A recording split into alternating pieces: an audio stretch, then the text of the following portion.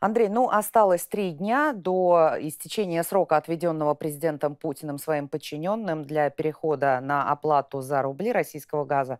И Евросоюз, полностью внесенный в список недружественных стран, и э, Большая Семерка на отрез отказываются платить рублями. И при этом сегодня пресс-секретарь Путина Дмитрий Песков неоднократно повторил, что Россия, цитирую, не будет заниматься европейской благотворительностью. Вопрос, технически Россия может сразу перекрыть газ в Европу? Так, по порядку. Значит, Песков. Это типичная кремлевская подмена понятий. Ни о какой благотворительности э, э, нет. Песков уводит в сторону от э, сути дела дискуссию. Якобы э, Европа не хочет платить за э, российский газ. Европа намерена и дальше платить, как и написано в контрактах, в евро и долларах. Просто Россия меняет условия и требует, чтобы э, они подчинились. Второе. Обратим внимание – отказались этому ультиматуму из Кремля следовать большая семерка, а фактически это Германия, Италия, Франция и Великобритания, потому что США, Канада, Япония э, трубопроводный газ не получают, но нет единой позиции 27 стран ЕС. То есть я допускаю, что некоторые страны ЕС, восточноевропейские, с молчаливого согласия Брюсселя будут осуществлять эти сделки в, э, в, э, в рублях, потому что у них просто зависимость настолько высока, что они не смогут иначе как удержать. Болгария, о которой мы как-то уже совершенно, говорили. Совершенно верно. Теперь технически. Технически не проблема. Мы даже видели в 2009 году, как это делается. Да? Можно закрыть Северный поток-1, и тогда перестанут поставки идти в Германию, которая сейчас председательствует в Большой Семерке, поэтому уж точно не будет э, переходить на рубли э, после того, как под ее руководством принято это решение. Можно закрыть, что, собственно, и было, он пустовал, э, газопровод, который идет, Ямал-Европа, который идет через Беларусь и Польшу. И можно частично ограничить, ограничить поставки через Украину, поставляя тем странам, которые, может быть, согласятся платить в рублях. Так что технически тут проблемы нет. Возникнет вопрос, а что делать с этим газом в России? Да? Тоже пока не проблема, потому что кончается отопительный сезон, будут наполнять российские газохранилища, но в какой-то момент система начнет э, раздуваться от газа. И где-то летом, наверное, возникнет вопрос, либо сокращать добычу «Газпрома», либо все-таки договариваться с европейцами, не хотят ли они взять газ. Андрей, ну а нет ли возможности, что страны ЕС будут э, закупать рубли не у Центрального, э, Центрального банка России и у банков российских, на которые э, наложены сейчас санкции, а, предположим, в Китае или той же Индии? Да, добавлю еще Казахстан, возможный вариант, Турция, допускаю, имеет определенные объемы в рублях, может быть, даже Иран – хотя он такой санкционный, но всякое бывает. Но это будет очень волокитная э, и, и, и очень Марокко, в общем, короче говоря. Ну, это будет, схема, это будет лихорадить все время рынок. И все европейские партнеры, даже те в Восточной Европе, которые будут вынуждены какое-то время в эти рублевые игры играть, будут спать и видеть, и а днем работать, чтобы с, избавиться от этой необходимости. Но э, теоретически, наверное, это возможно, и думаю, что кто-то по этому пути и пойдет. Вынужден будет пойти.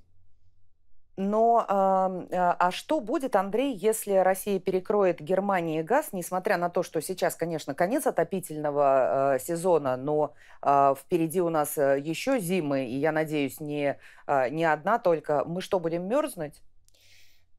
Во-первых, меня смущает то, что мы сейчас, еще апрель не начался, уже говорим об осени. Мы видим, Готовятся что они летом. Это совершенно верно, это правильно. Но мы видим, что военная кампания явно пробуксовывает.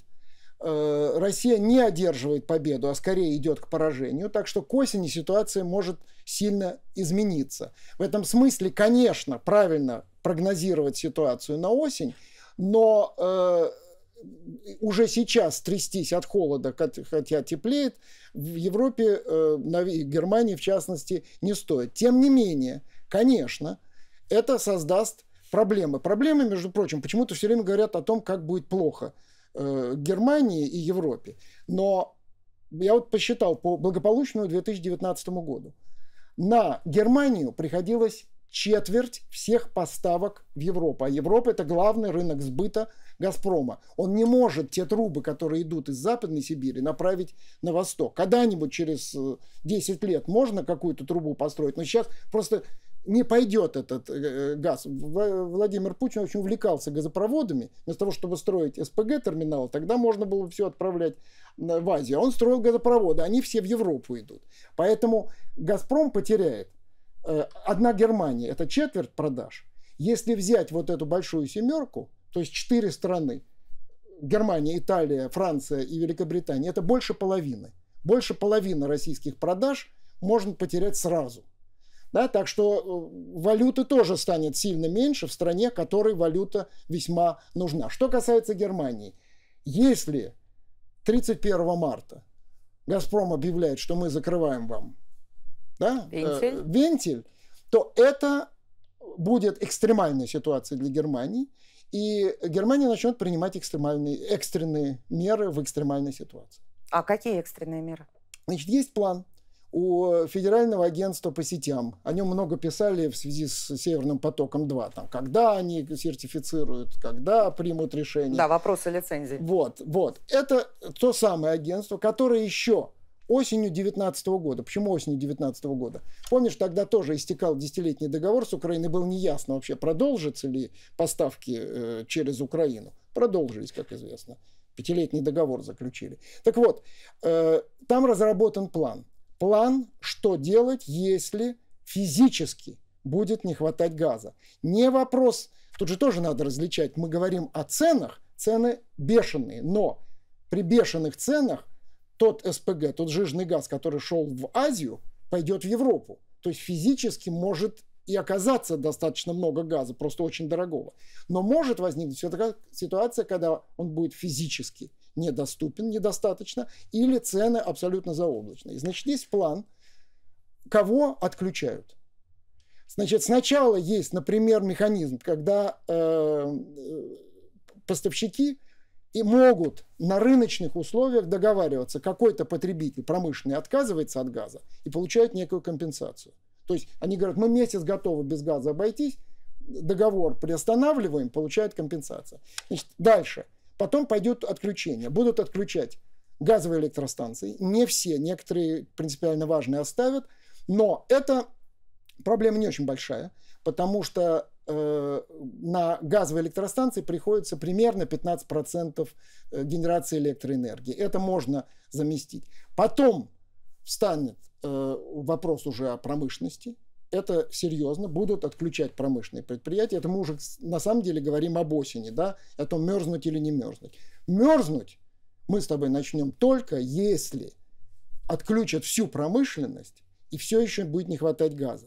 И только после того, как нас, рядовых потребителей, отключат, будут отключать больницы. Вот есть такой четко проработанный план. Но я думаю, что это план на самый худший случай, который не наступит. У нас впереди лето, а за это лето много чего может измениться. Андрей, ну и еще один такой очень важный вопрос. Сегодня на московских торгах серьезно укрепился рубль. Его актуальный курс, я сейчас посмотрю, а, доллар 86 рублей, а, евро 96. Скажи, чем можно объяснить а, такую тенденцию? очень неликвидным рынком, на котором происходят некие виртуальные торги в условиях отсутствия, отсутствия реального баланса между спросом и предложением. Надо просто понимать, что, ну, ну во-первых, начнем с того, что такие колебания евро то 150, то 95. Да-да, мы да, еще помним, э, что... Э, это, э, а, а раньше 80, да, это такая волатильность, которая, при которой невозможно никакой э, нормальный, даже среднесрочный бизнес, не говоря уже о долгосрочном бизнесе делать. Но это так, ремарка. Так вот, э, сейчас э, мало э, спроса на валюту, да, потому что э, импортеры ничего не покупают, все закрыто. Э, туристы ничего не покупают, никто никуда не ездит.